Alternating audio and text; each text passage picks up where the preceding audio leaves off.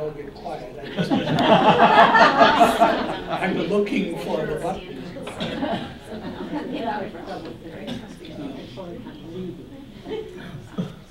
It's minimized down on the, Oh, yeah. it's, it's minimized down on the taskbar. I don't know where. Rain, rain, you're talking about the same thing, this is one rain. Bring that up. Well, we need, Yeah, yes, we do. You're dry. Yeah, Good thing we're happy. Good. Uh, I said to Pastor Karen that that picture that they showed on the slide in the early service was really fortuitous because I wondered at first, where did they get that picture of the two of us um, presenting today, you know? I didn't remember that we ever took a picture together, but it was taken next to the garage out there in the summer during coffee hour, and uh, somebody photoshopped my wife out of the picture. So, there was, there was Pastor Karen and I getting ready for this morning. Uh, They was Sonia. and since they photoshopped my wife out of that, let me tell a story about her that relates to our, our topic uh, today. Um, we used to attend a church in uh, Austin, Texas, where we lived for 23 years. And um, that um, uh, Austin, you may guess, for example, uh, has a lot more homeless people than does Milwaukee because of weather. And so you can stay out on the streets for most of the year in, in Austin. So they had a huge challenge with the homeless, and many churches decided they wanted to do something about it. Church that we attended um, decided they wanted to do something about that. My wife was a part of a group that, that was um, seeking to meet with homeless people on, once a week on a regular basis and talk to them about whatever their needs were. And the church had a, um, a practice of giving out bus passes uh, that they could use for a certain period of time. And um, uh, I think there was something about a phone card too, because the funny thing was there were no public phones anymore. Uh, and many of these people had come out of prison. And when they went in, there were still public phones. And so when they came out, there, there were none anymore. So um, the church decided that it wanted to do more and more to involve the homeless people, bring them in, bring in the stranger. And um, they wanted to invite them to come to church. Uh, and so they did. And so periodically you would have someone uh, who would come to church on Sunday morning. And uh, one time, uh, a homeless person was sitting in a pew. They had wooden pews, as you will remember from some churches.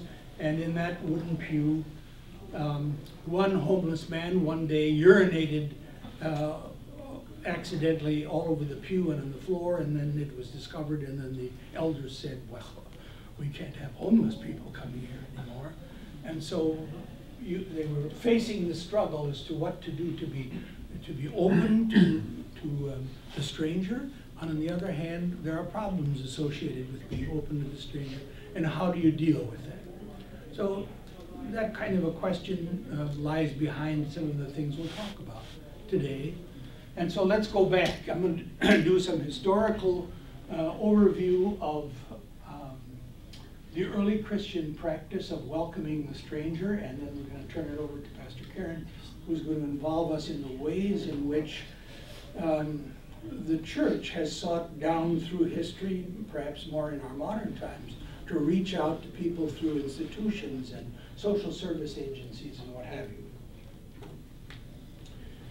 you. the word itself has various meanings in various languages, and um, I thought it would be useful to settle on this one because um, we can go all the way back to the caveman and assume that perhaps there were people who got together and invited strangers into their cave.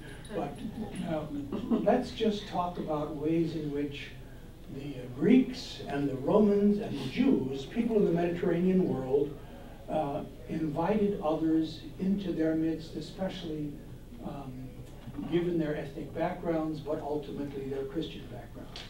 So a definition, something like a friendly and generous reception and entertainment uh, of guests, visitors, and strangers is, is fairly easy to work with.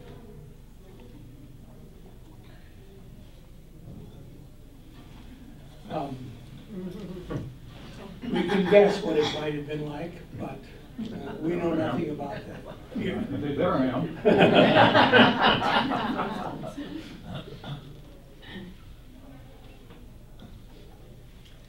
Now, what we do know, we go back to Homer's time, for example, a poet among the Greeks, um, eighth, cen- eighth century BC. Um, we do have documentation, and here we have um, strangers who are coming across the field with their oxen and whatever, traveling and uh, being welcomed by some um, hospitable family. And so that appears on a Greek vase, um, letting us know that there was such a, a practice going all the way back to ancient times. The Greek word for hospitality is philoxenia. And we can take that apart. Philos, many of you know, is one of the Greek words for love. Uh, and uh, xenos is, is the Greek word for stranger. So love of strangers um, was the um, word that we know as hospitality. That's uh, supposed to be a picture of a typical Greek uh, hostel, bringing the stranger in, and here's the host coming in with a pot of stew or something like that. And people are uh, thrown on the bed with animal hides and allowed to stay for the night, uh, something that uh, was true for ancients as well as for people who welcome the stranger today. I like this list because it shows that there was an intention, intentionality about hospitality. Uh, among the Greeks, for example, uh, there was this prescription which was actually written down, and uh, people would to some degree follow it. You would arrive, and then you would wait at the door, and then you would ask to be received. And then um, they would take you in, they would set you down, there would be food prepared, and there would be an after dinner drink. Um, that kind of a welcoming drink is still part and parcel of, of some cultures today. I know in, in some countries of the Mediterranean world, when you come to a hotel or to a hostel, there will be a, a servant or somebody standing there with a tray with some glasses on it with a welcome drink. And uh, it typically is hibiscus um, juice um, from which tea is also made. And you toss that down and you are part of the welcome group. Um, then you sit down and uh, you don't have to say anything when you come to the door about, you know, I was sent here by my cousin or whatever. Uh, now you can talk about who you are. It's not important for the stranger until a certain point. You exchange some information about your background, some entertainment is provided. Um, the visitor blesses the host. Uh, in some cultures, there was a sacrifice, and at some point, then you say, uh, "We'd like a bed for the night." you get the bed and the bath, and then um, the host does this kind of a thing uh, like, oh, please stay two days, not just one. Perfunctory, you don't need to say that, but that's part of the ritual. And then there are gifts which are shared, um, and then there's the, the departure meal and, and, another drink, and the farewell blessing, um, the departure omen, I'm not exactly sure what that had to do with, and the escort to the next destination. I don't know that that was always provided, but um, that's the, the typical Greek ritual. This is the only slide that for some reason or other is mysterious because there was a Roman inn. Underneath the Roman Forum has been excavated a, uh, an inn where strangers were brought and there's a, a stone bed. I hope they had a hide or a mattress or something on it that you could sleep on. Um, and in Latin, the word for philoxenia, the Greek word, is hospitio. So that was their practice of hospitality. And they had rules for it also, and they tended to follow um, the Greek ones. In both, there was an interesting connection between um, the gods. So in the Greek world, Zeus, Xenia, um, the, the Greek gods and the Roman gods, they had certain uh, aspects to them, and so uh, Zeus, Xenia was the god that dealt with the, the portion of Zeus that dealt with strangers, and in, in the Roman world, Jupiter, the portion that dealt with strangers was hospitalis, Jupiter hospitalis. Uh, it was common that if you had some kind of medical problems, legal problems, the host took care of that. Um, and the practice had a, a future meaning, this whole practice of, of uh, hospitality and philoxenia, because you might meet again. So if you did, uh, here are, the Greek word was astrologos and the Latin word is tessera. You may know tessera because uh, sometimes there'll be a, a, mosaic with little tiny pieces of glass. Those are tessera. Uh, and so if you have a tile, for example, which sometimes would be made into a floor um, pattern, uh, but you take this piece of tile and you break it. And um, of course, hopefully it breaks with some kind of crooked lines.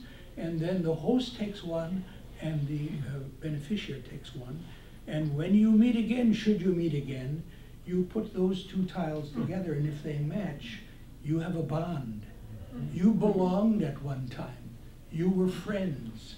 You were strangers who had become one. That's an interesting practice, and I think it might be interesting for us to think about how we who are interested in trying to welcome strangers could develop a modern version of that. Um,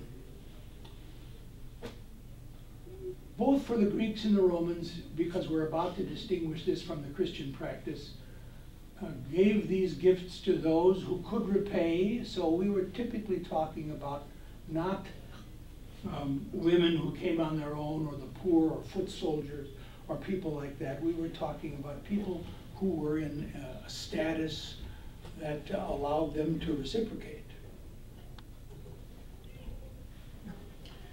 This is a very famous um, image, uh, an icon. Uh, Andrei Rublev is Russian, and uh, he did this uh, of the um, three strangers who came to visit Abraham and Sarah. But Andrei Rublev um, and some others have thought that this, uh, these three people were the Trinity. So in Orthodoxy today, Rublev's icon, as well as many modern versions of that icon, uh, assume that we've got pictures of the Trinity here. We can assume with the Abraham and Sarah story that the three strangers were in fact strangers being welcomed into their tent and cared for, much in the way that, that uh, strangers um, from the ancient world would be welcomed. So um, I, I love the image. Uh, I'm not into Trinitarian theology when it comes to that image. Whoops, went too far. In the Old Testament, um, this passage is worth noting when it comes to, just a minute, did I actually, no, okay. Um, this passage we know well, when an alien resides with you in your land, you shall not oppress the alien. The alien who resides with you shall be to you as the citizen among you. You shall love the alien as yourself, for you were aliens in the land of Egypt. I am the Lord your God. Um, I wanted to remember a hymn that we sang this morning, and I can't remember that line, but um, you were aliens in the land of Egypt uh, was a line that was represented in the words of that, of the poetry of a hymn we sang this morning. Um, but the truth is, when it came to the Jewish practice, comparing that with the Romans and the, and the Greeks, Jews welcomed Jews. Uh, there are a number of stories that we can think about. Uh, we had the um, story about the, the well, um, Jacob's well, and um, um, Jesus and the woman of, of Sychar at the well. Um, I was just telling John that I remembered one time when my wife and I were at that well, and um, you- there was a tin cup that you could lower down into the water and, and bring up, and you could sample the same water that the ancients drank.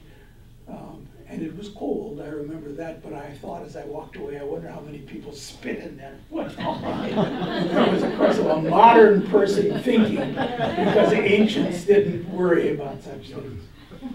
Um,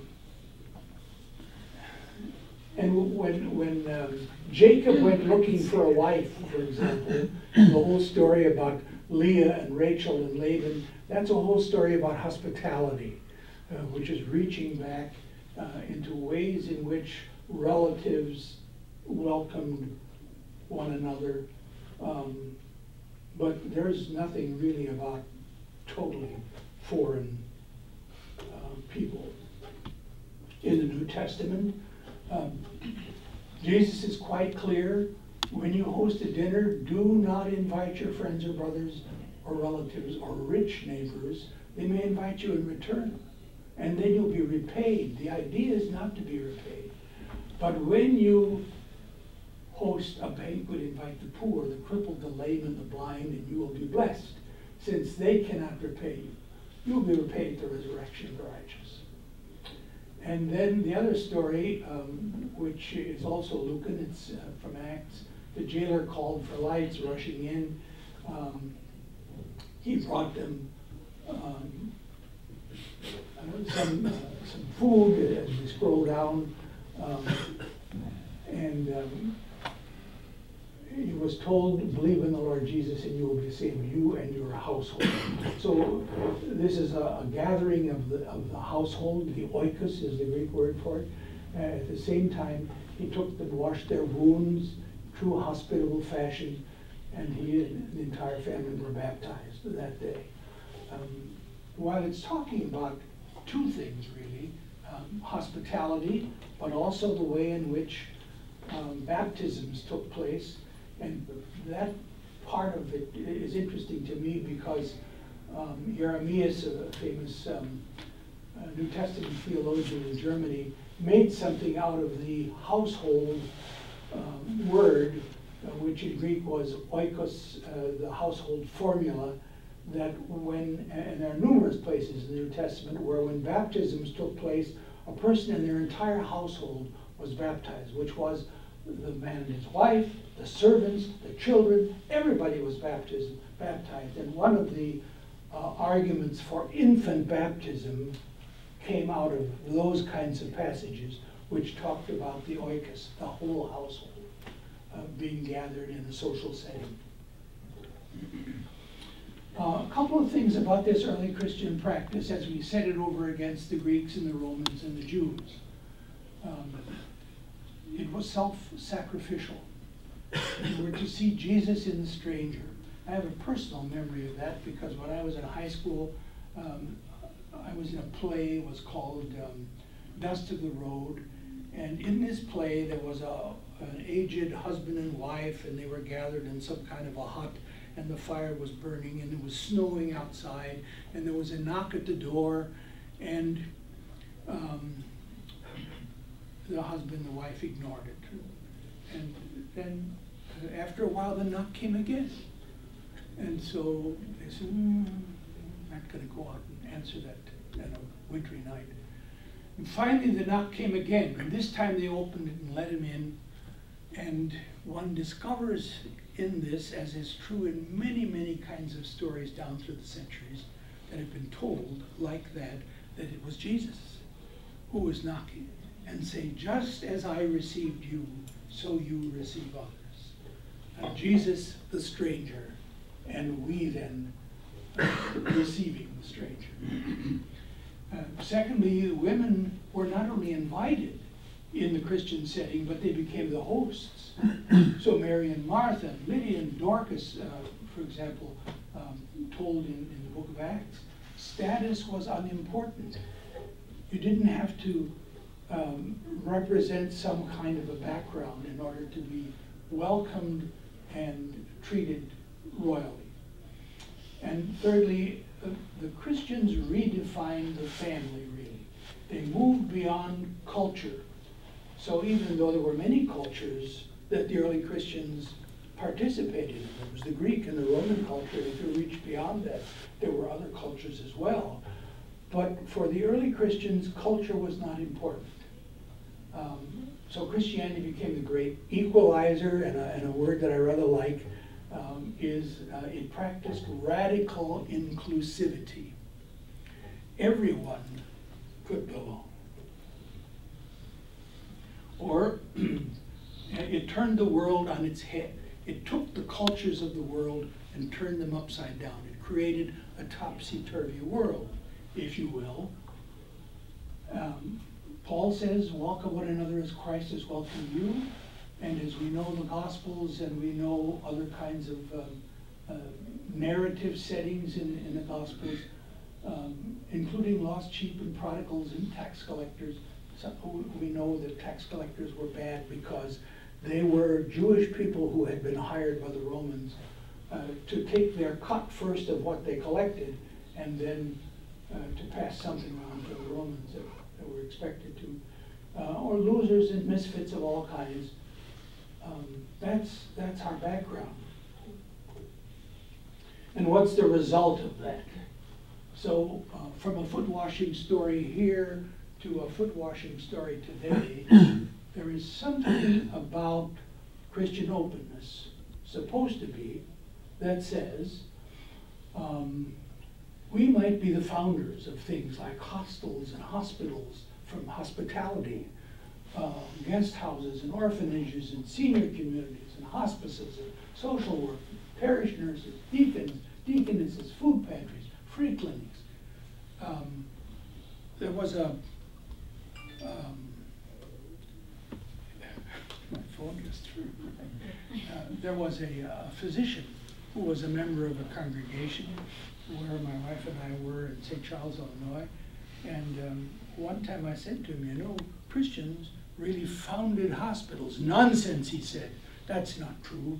Well, it is true. If you want to look up where hospitals came from, hospitality, um, there were Greek physicians in the ancient world, for example, but the concept of bringing people together and caring for them, uh, a famous example is that once um, Constantine made it possible for Christians to erect their own churches, um, the, um, the rules for a cathedral in a city, which was uh, a church which had a bishop, uh, was that you always had to have along with a, a cathedral a hospital, a way to care for the sick, because you needed to reach out to the stranger who was physically troubled in some way. So hospitals began with Christian outreach, as did many, many other things which are part of our culture today. Now, where do we go with that and what happened to it all? Uh, well, I think Pastor Karen wants to take us on a journey into that kind of a discussion uh, as to where did it go and does it still exist and are we in some way responsible for making it happen and how? I'm queued up. Thank you, Dave. I know that these are real quick overviews, just getting your um, thought process going, but um, not only is there this biblical mandate, but as you're describing this um, practice for like 300 years of the community gathering in the home as the place of hospitality and worship and, and community, and now, you know, what happens after now Constantine, the church is legal. Um, we see hospitality will move from um, the church to the monastery to the bishop's house to, uh, and then what happens uh, as Christians um, come to um, America. So my section, I just zeroed in on a conversation around um, the institutions, where are we today, and, and, the institutions that have provided the hospitality right in our own neighborhood. Um, so my presentation is coming as neither a historian or even a local, but just a curious uh, internet searcher.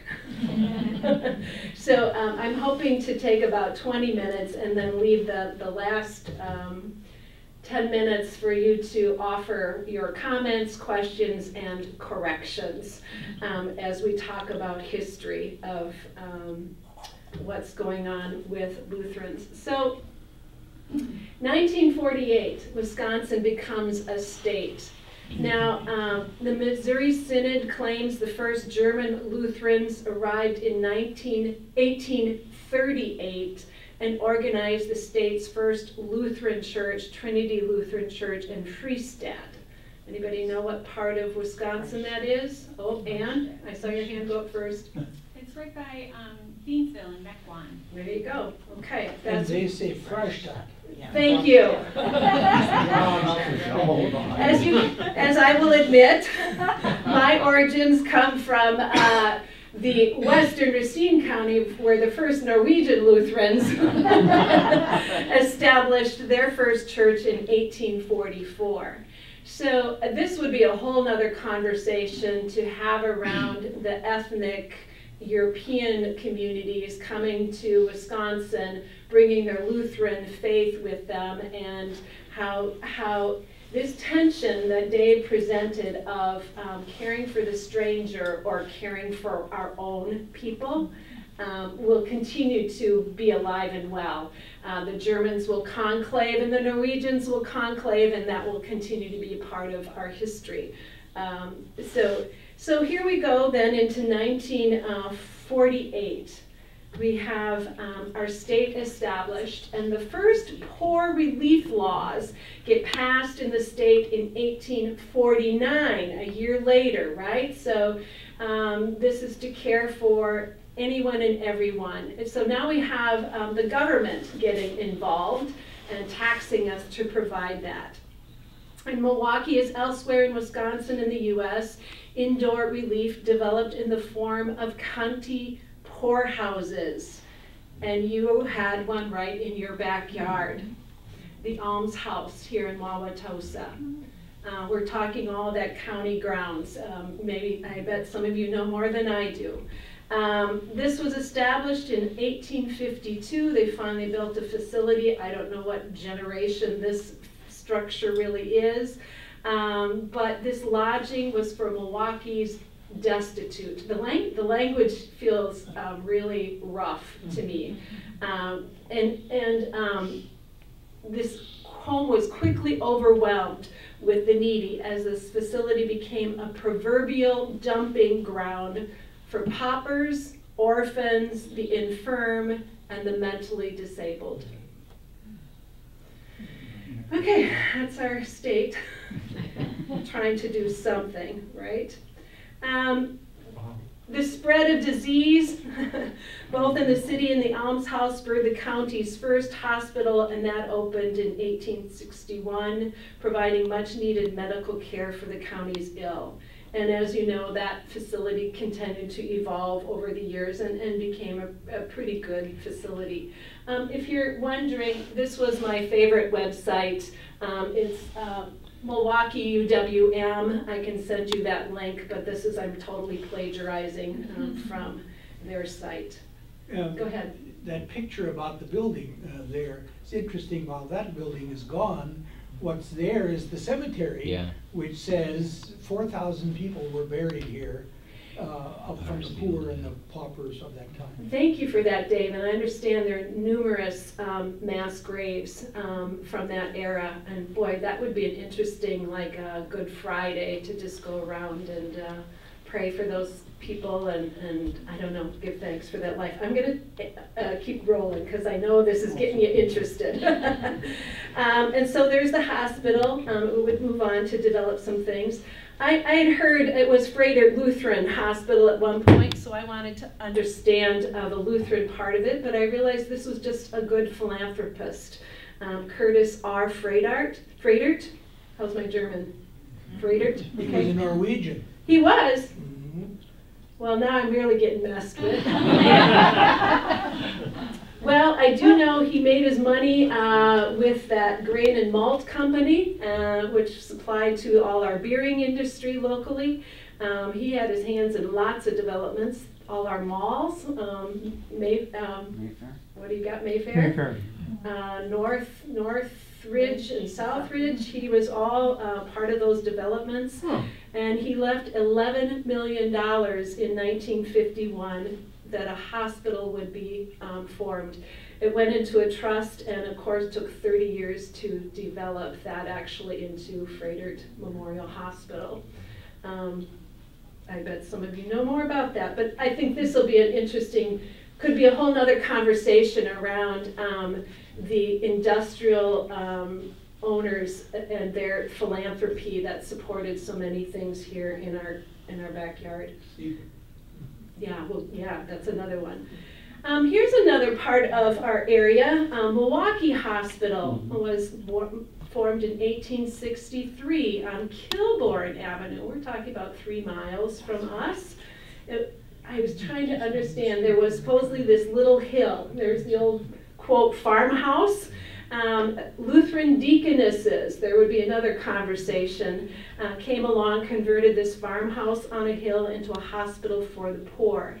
It grew and became a major urban hospital, then faced financial struggles that led to its closure in 1998.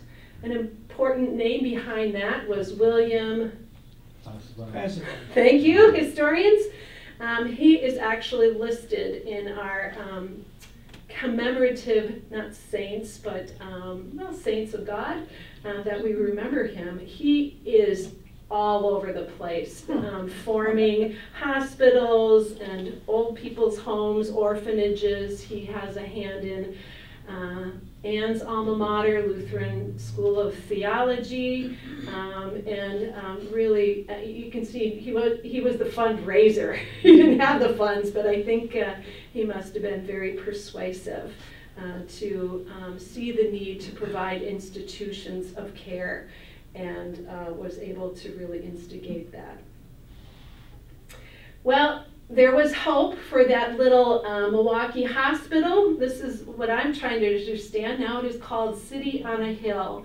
It became a reality in 2000 thanks to a local ministry. I think the Pentecostal Church got in on this, a national relief organization, and a gift of the property from Aurora Healthcare, who had owned that hospital.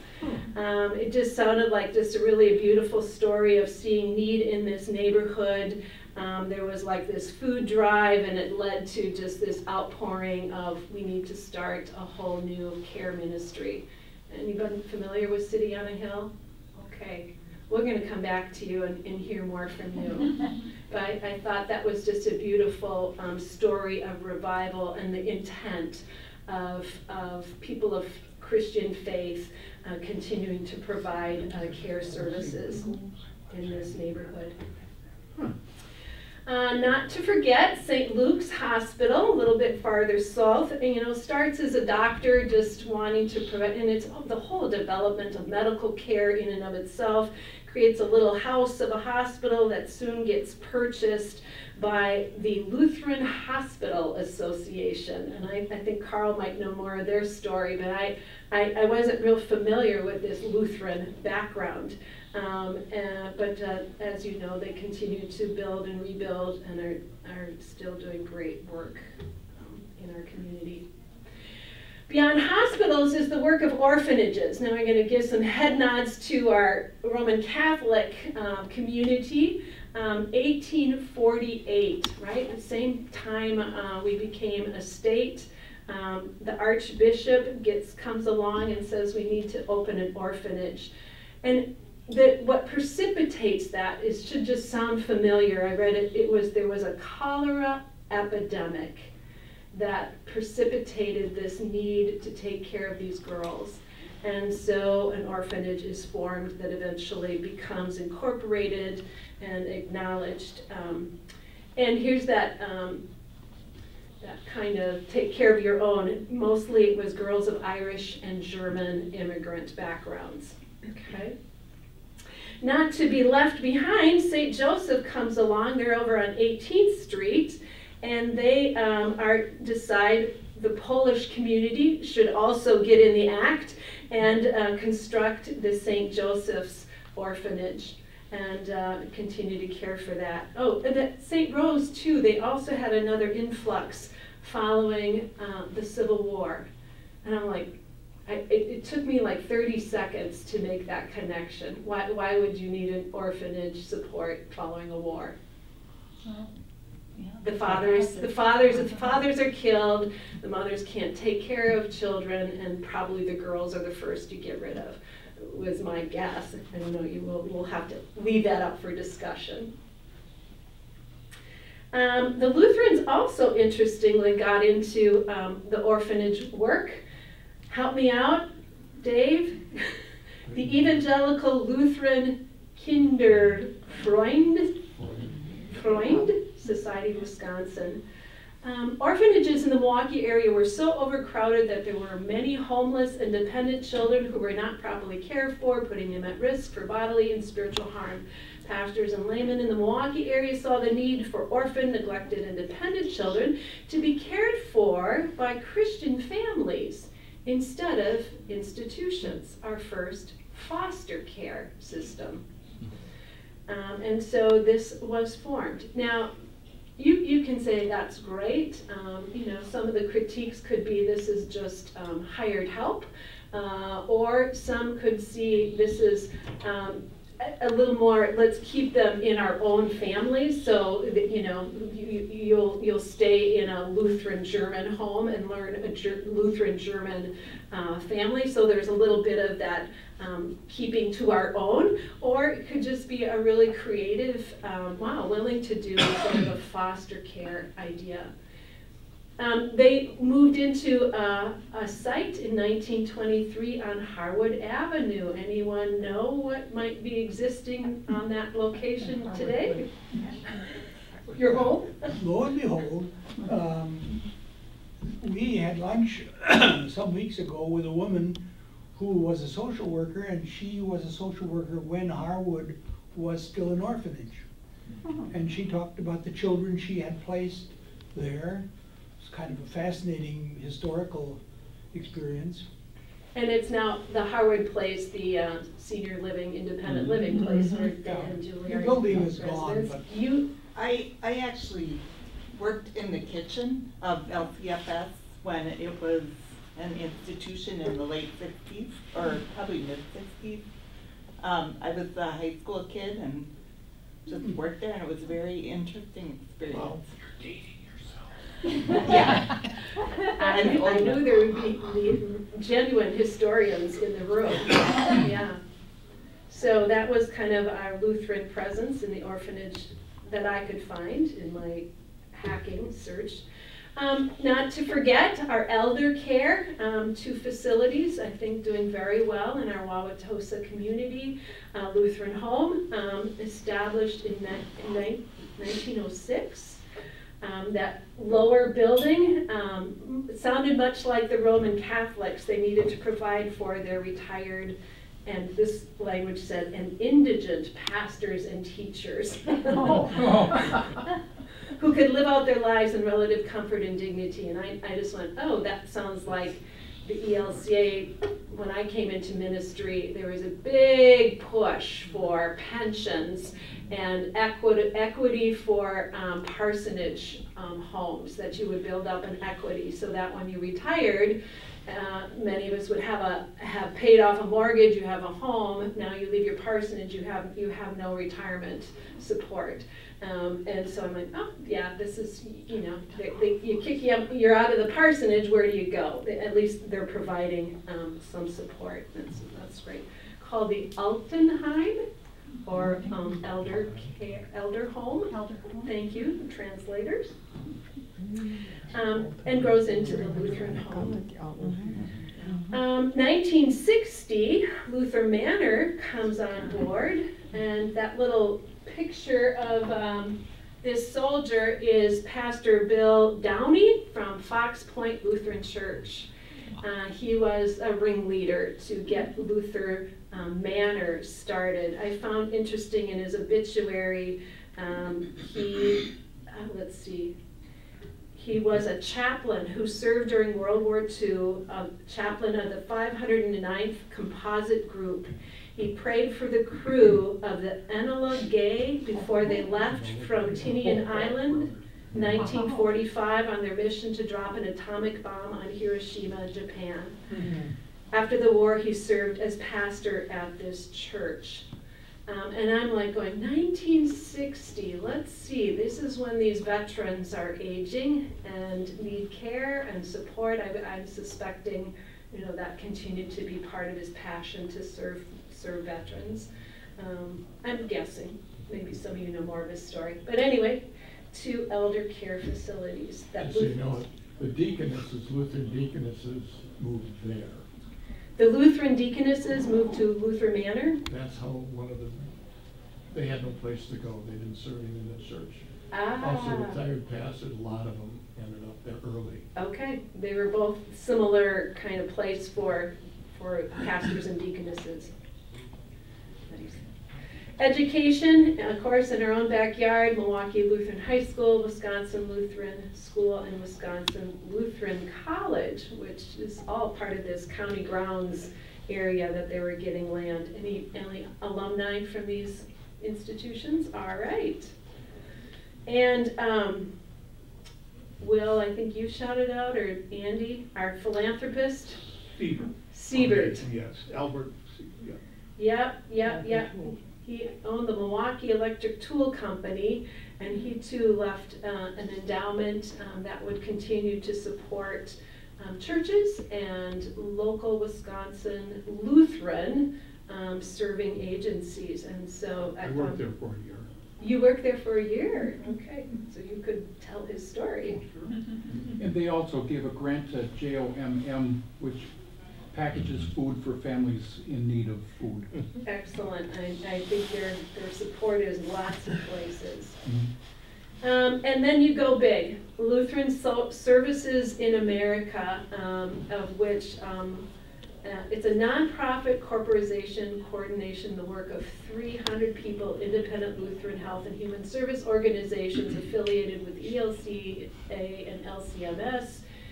In terms of revenue, it is the single largest charitable organization in America. These organizations provide health and human services to over 6 million people throughout the U.S. and the Caribbean, and estimates that in any given year, their program touches the lives of one in every five Ameri- 50 Americans. Building upon the strengths of people and community, Lutheran social ministry organizations address a wide range of needs, including those of the elderly, children, families, people with special needs, prisoners, people with disabilities, and providing disaster response.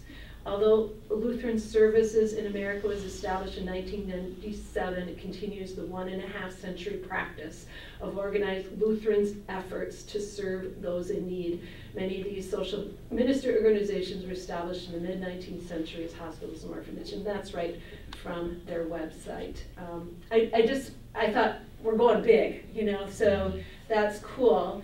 And, but I want to come back to, for me, is the questions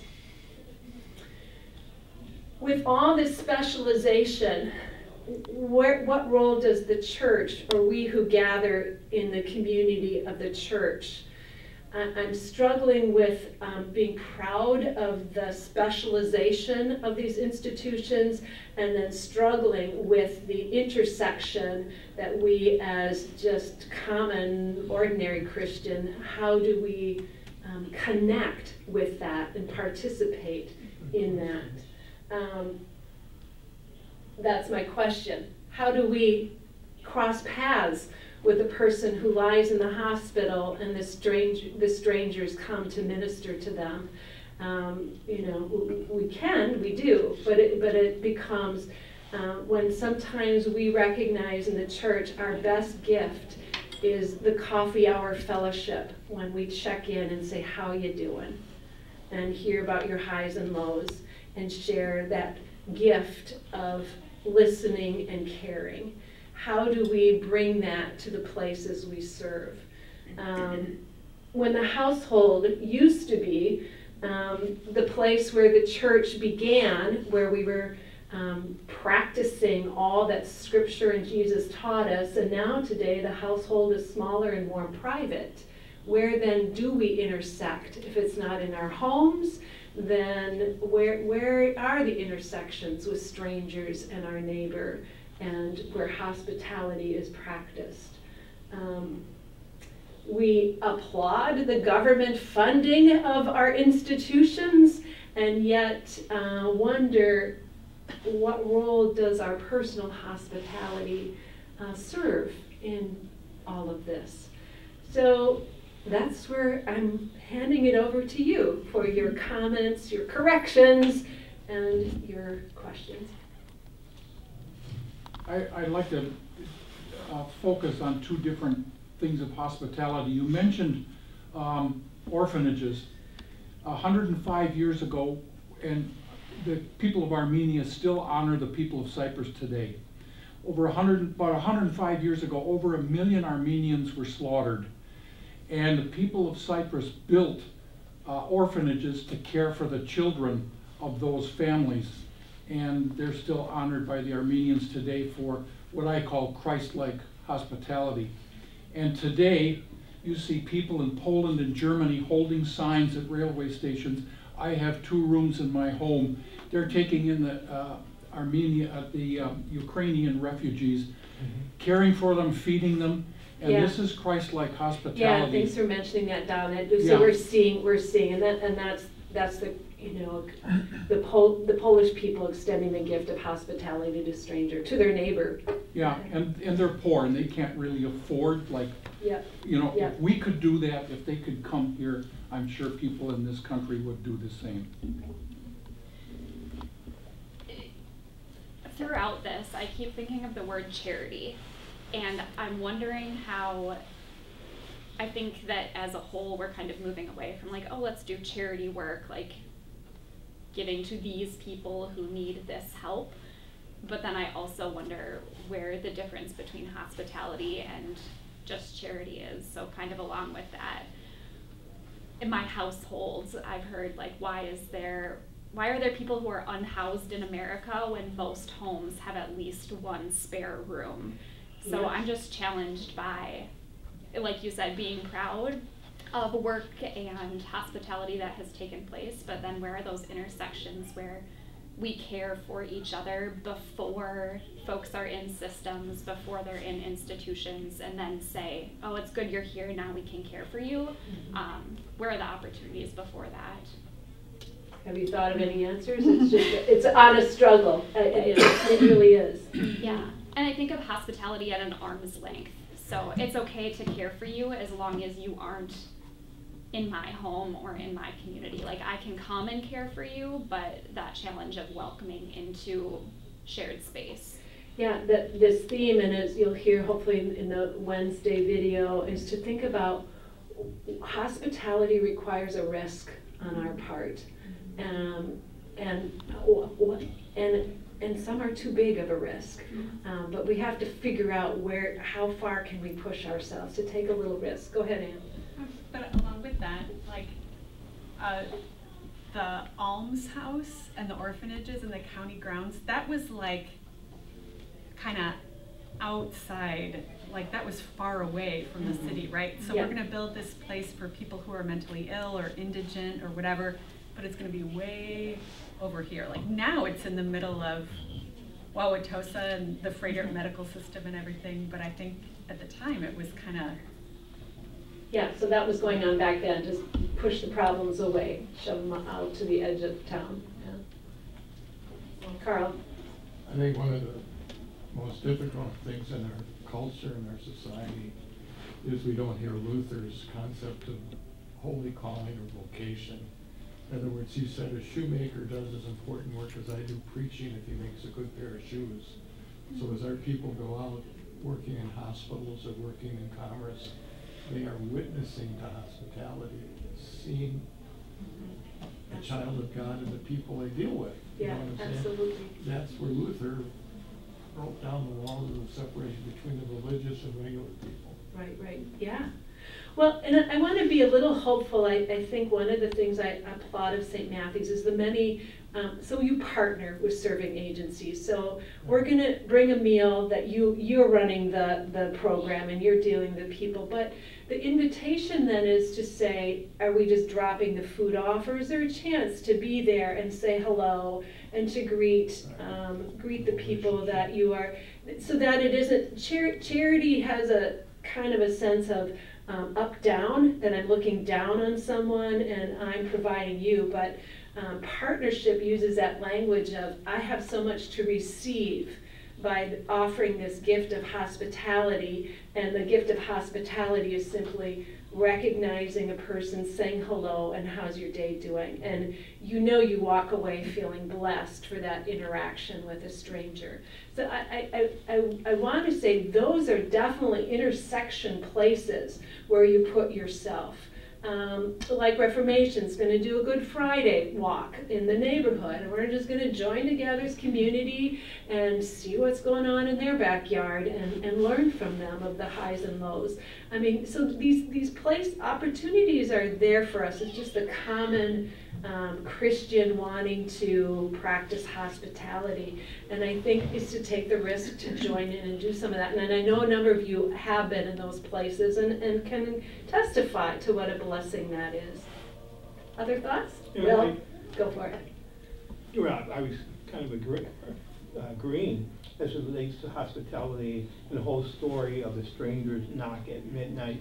You know, it's uncomfortable in certain cases. And uh, I like what you said as it relates to, you know, uh, the the deal of serving food to an inner city church, just dropping it off without knowing the people or without interchanging or without getting uncomfortable in terms of, you know, this is how we're going to engage in an environment, a culture that we're not familiar with. Can you imagine the owner of the house answering the knock at midnight, like, who is this person? What do they want, you know, with, with me?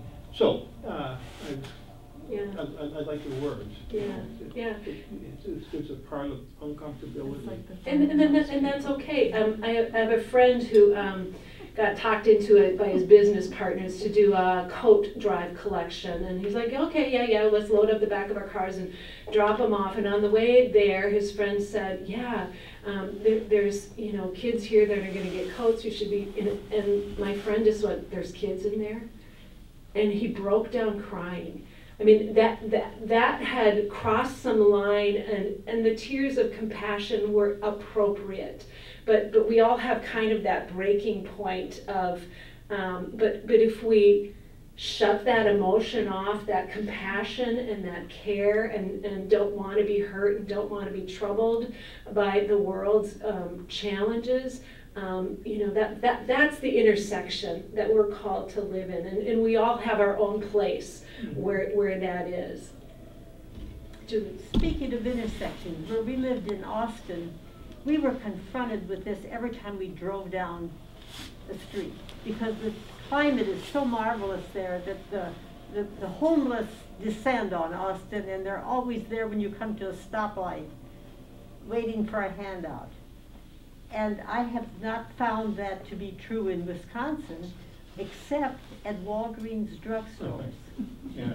There are, from time to time, when I've gone in various Walgreens drugstores, there's somebody standing there waiting for a handout. And, and that's particularly scary at evening sure. or night, if, you know, Sure. if you're approached. Um, But in Austin, the church that my husband referenced, we had, the- they had a ministry where you bought a pair of men's socks and you stuffed one in the toe of the other, and then you put a water bottle and some uh, health bars or whatever. And so you carried, the people, members of the congregation, put those in their cars so that when you were in a situation, somebody wanted a handout, you offered that. Uh, But that is a challenge for me when I Okay. am confronted at a grocery, or at a Walgreens pharmacy, uh, for somebody asking me for, That's tough. for something. It is tough when we all cross that, I, do I feel safe? Yeah. You know, is my life being threatened or my possessions, yeah. Other thoughts? Um, when I was a child, we grew up on a farm, and there were ten kids. And there was hardly enough food to feed the ten of us sometimes. And I recall what we termed hobos, coming to the door, rapping on the door, and my mother would set out a plate of food. Yeah. That was hospitality. Yeah, absolutely. Yeah. Remember Tanzanians came um, to visit, I'm out on a Conwalk, show them the tour, the, the free clinic, show them the food pantry, and they're just puzzling, going, you mean if someone has, needs food, they can't just go to their neighbor?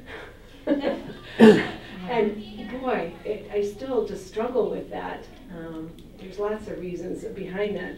I do have to say, as a new member or coming into St. Matthew's for the first time as it relates to hospitality, you guys have your ushering down.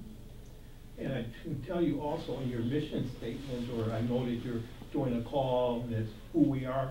I do have, you, you guys are right on the mark with your members approaching quote unquote strangers or new people and introducing themselves and uh, inviting them and all. So you guys, uh, in terms of uh, pat on the back, you guys have that skill.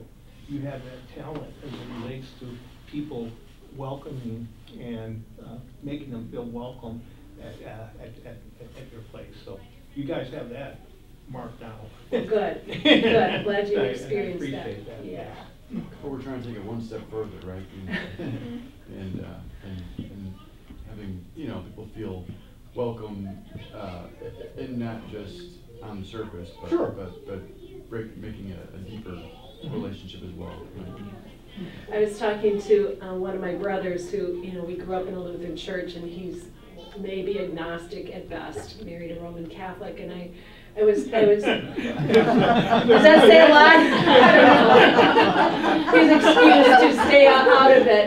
But, but I, I, I was, I was telling him that, um, that this church is, you know, looking at new pastors and interviewing and, and um, we're recognizing in, in the clergy now a lot more LGBTQ candidates because I think they're drawn to a community that says, here's a place you're accepted. And, and I was telling him that the church is really trying to practice a welcome to all people.